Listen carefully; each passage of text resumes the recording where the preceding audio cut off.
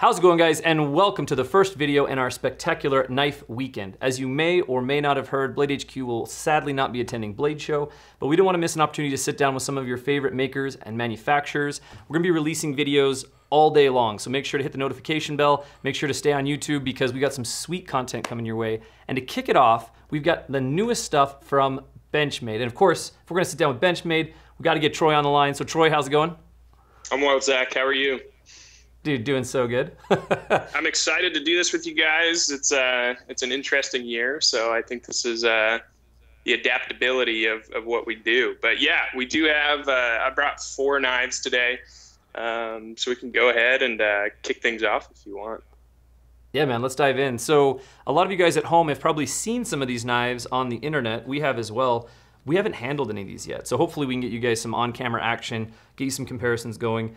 And to kick it off, obviously the knife that everybody's talking about right now, uh, your new Os the new knife in your Osborne series. So tell us about this thing. So first off, for anybody who hasn't seen, looks like a regular Osborne, and then you do this. so what, what's the story on this bad boy, Troy? 20 years in the making. Um, we talked about it in Knife Banter a couple months ago, but uh, this is the 20th year of the Osborne. And so we're playing around with a lot of different variations, different materials, but we haven't changed the mechanism yet. And this is something that we've heard a lot of from people. Man, I wish I had an Auto 940. Man, I wish I had an Auto 940. So here it is. Um, we tried to keep this thing as true to form as it gets. And so you've got your standard aluminum handles, green ano, kept the closed backspacer with the purple anodization there. Um, S30V, reverse Tanto, textbook, Warren Osborne. And this is a push button automatic. So you do have your firing button here, and then we have an inline safety tied up there in the back of the handle. So um, one thing that I do like about this knife, and I actually just learned recently, so we went with a split arrow clip on it. Uh, generally, you're seeing on the standard 940s out of the factory the the Benchmade stamped um, kind of like black ano clip there. So this split arrow clip design actually was our first clip collaboration with Warren Osborne. Um, so kind of nodding back to the heritage of where this knife came from. Um, and, and what it is now. So I'm I'm super stoked on this. Oddly enough, this guy's like three tenths of an ounce lighter than the standard 940. Um, right on. But it's just an awesome little push button automatic. You know, it's it's it's true to form, like I said earlier, and we really haven't deviated too far from what made this knife such a popular EDC. Oh, I think that's awesome. And I actually didn't know about the pocket clip on that. So I'm glad we're sitting down talking about it. That is really cool. And also cool not just that it's a little bit different, because I did notice that, but that it's a throwback to something that, you know, one of the original collaborations you guys did with, uh, with Warren. So really, really cool knife. I mean, it just makes sense, right? Like when you handle it, you're just like, oh yeah, no, like this, it just makes sense. When you get it in hand, you're like, yeah, no, this is, I've always wanted this, right? totally. Yeah, it's weird yeah, seeing yeah. an Osborne in a in a black box, but uh, uh-huh. 2020, man, why not? right? Well, it's a perfect year for weird, right? now I have I have to admit when I when I first saw this, I got because you know I have that the Outlast and I and I or the sorry the Mediator. I have an Outlast too. Yeah. That's great too. But I have a Mediator. I love my Mediator. And when I saw the pictures of this of this 9400, I was like, ah, I mean, I got a Mediator. Like, why would I? Why would I do? Why would I do the uh, you know the Osborne Auto? And then when I finally, you know, because you sent us a sample so we could take a look at this and have it for camera, they really are very different right? Like they like yeah. on on a lot of levels they really are. And I will say how, for how much I love my mediator, this lock on the 9400 is so elegant and such a simple solution. A lot of times I feel like locks either visually get in the road of an auto or mechanically get in the road of an auto. So even when it is a, like a back lock like this, it's like hard to engage or it feels crunchy. But dude, this lock is buttery smooth. Like it's so it's good. satisfying. It's it's got a great yeah. action to it. I sit there and almost fidget with the lock just as much as I do open and closing in my hand. Or You're starting to see us kind of tap into the EDC side of of like tactical designs. Um, it doesn't have to be super tactical to be to be a practical knife, and, and you don't have to be an operator or um, anything like that to carry a switchblade auto, especially as more and more states open up to allow automatic knives. Oh, super cool, man! And And then again, you know those those original hits of color that you guys have put on this thing, like everything about this is just awesome. Um, so Yeah. really cool. I was stoked to finally get one and get it in hand. And uh, yeah, I had to I had to eat my words a bit when I was when I was comparing the Mediator and the uh, and the, and the 9400 because I was like, oh no, it's it's different. It's good. It's it's right there. Now, kind of on the opposite end of the spectrum. So you're talking about usability, you know, kind of tactical, kind of EDC. Next up is the exact opposite of that. So so tell us a bit about this new Tengu tool. Yeah, so uh, kind of staying in the same vein as like custom collaboration designs, Jared Oeser is the newest uh, custom designer to come on board with our design team. And so you saw the 601 Tengu Flipper last month. Um, that knife has been super cool. And we just wanted to maintain that same aesthetic. So you have 20 CV, kind of gnarly Tanto blade there, same G10 coloration on the handles. Um, but this guy's small. It comes in a, a, a, leather slip similar to what you get with the 601 Tengu. So side by side, these are a great pair for each other. Um, super small blade. I can't remember on this guy. I think we're like one. It's just over one inch. Um, and then Yeah. the Tang here actually has got a little pry tool towards the tip. Uh, you've got your bottle opener here as well. So I think, like you and I were talking, this is a friction folder. It's a non-locking blade, so this knife is going to be a great little travel knife.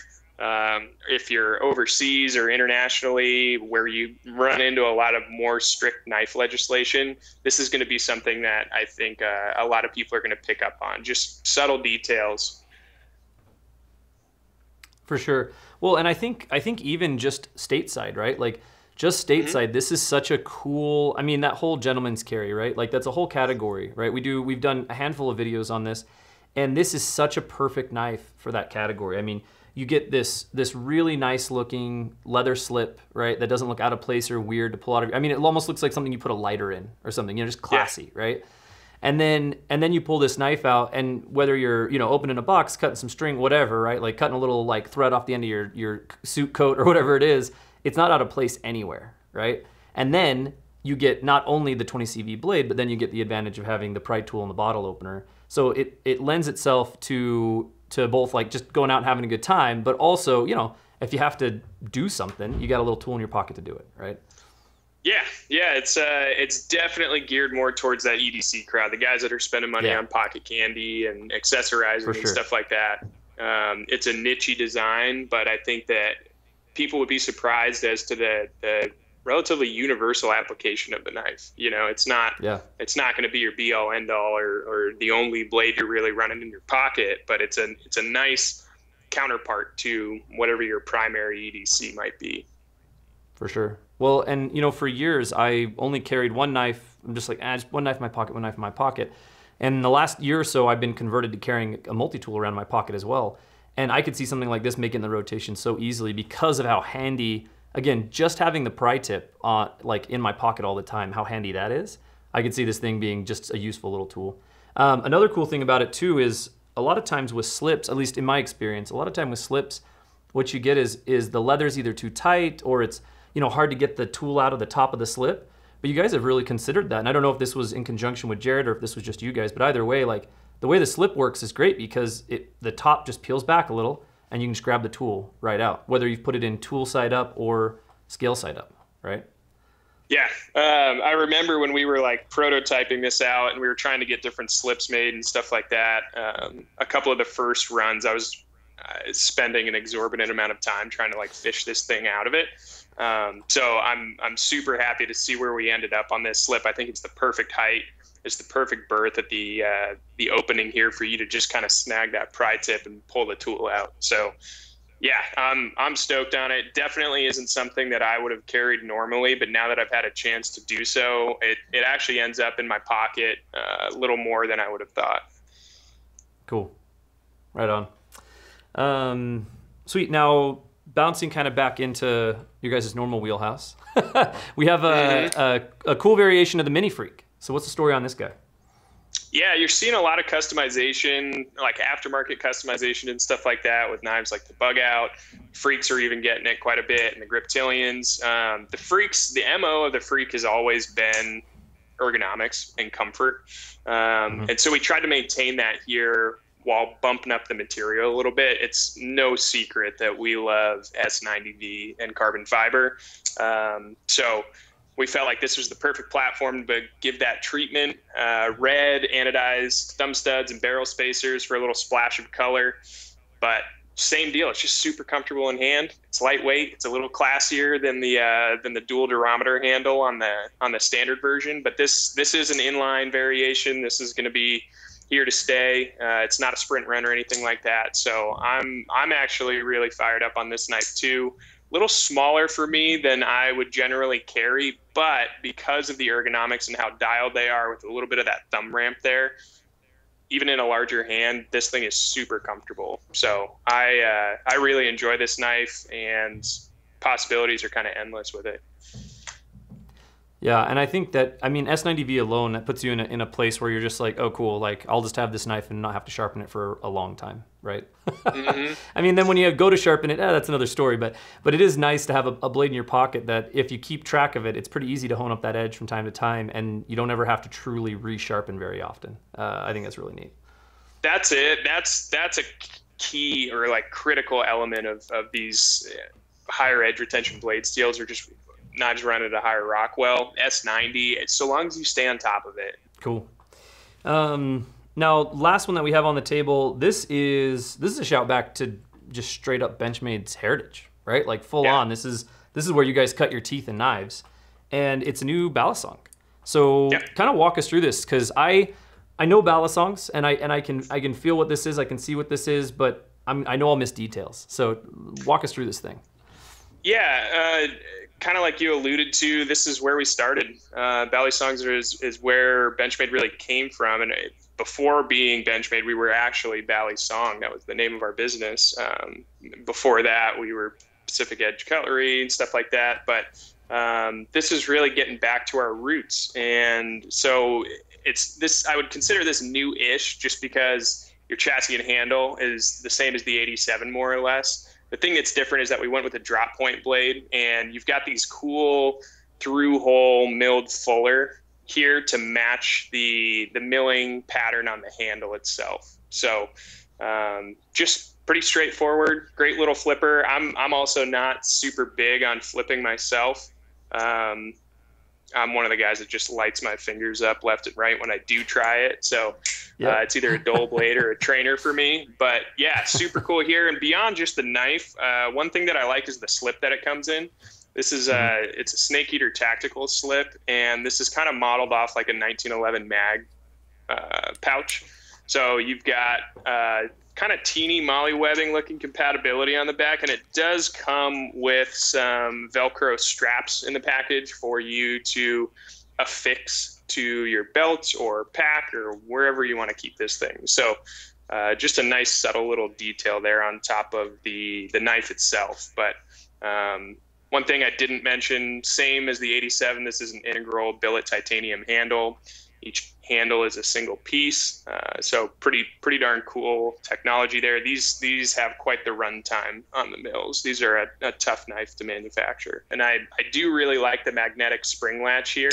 I think that's a pretty mm-hmm. cool feature. When you are flipping, it keeps that latch out of the way, and you don't get the crazy bite marks on, on the uh, the safe handle there when when that latch swings around and smacks it. So you see a lot of guys like pulling their latches off other Bally's or going with like a nylon knot rope or something like that. This you just you really don't even have to worry about it with the uh, the 85 or the 87. So that's cool. That's super cool. Right on, man. Um, well, some really rad stuff on the table. Like I said, most of the stuff I think we've seen on the internet, but even even we at Blade HQ hadn't handled it. So stoked to get some of it on the table and show some of it off. Um, now you know how it goes. Uh, at the end of this thing, what do you got in your pocket? I am carrying 940-1. I told you guys. Oh, you got a new one, huh? yep, I had to get a new one, man. I uh, I was searching high and low for mine the last time we spoke. Uh, side note, I actually found my 940-2001 so it was Dope. a pair of pants that I never wear, and uh, pulled that out of the closet one day when the the laundry pile was running a little bit low, and I was surprised to find that Dash 2001 in there. But 940-1's hard to beat. I told you I love S90 and carbon fiber, mm-hmm. so this is uh, this is a knife that dominates my pocket real estate more times than not. Cool. Yeah, and if you guys haven't seen the video we did with Troy, we sat down. Oh, it was what a month, month or two ago. We sat down a month or two ago and talked top five Benchmade, and uh, he's got some pretty good stories at losing that 940-1 constantly. So go check that out. uh, I've got a bad right track on. record, man. cool, man. Well, thank you so much for your time. We appreciate it. Thank you so much for uh, showing off some of this new shiny stuff. Um, I think most of the stuff's available or, or going to be available very soon. I know we've fulfilled some pre-orders on our end. So uh, just check the website, guys. We'll have some links down in the description. Thank you, Troy, and uh, we'll catch you guys on the next one. Thanks, guys.